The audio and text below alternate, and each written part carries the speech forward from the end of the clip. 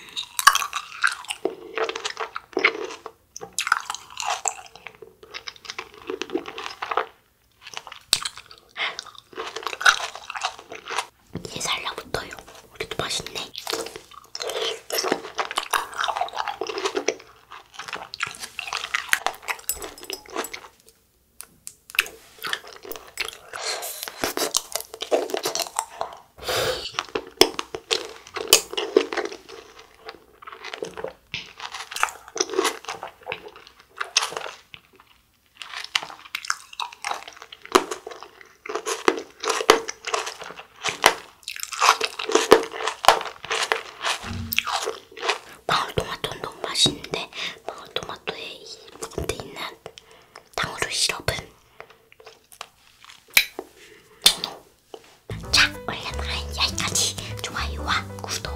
꾹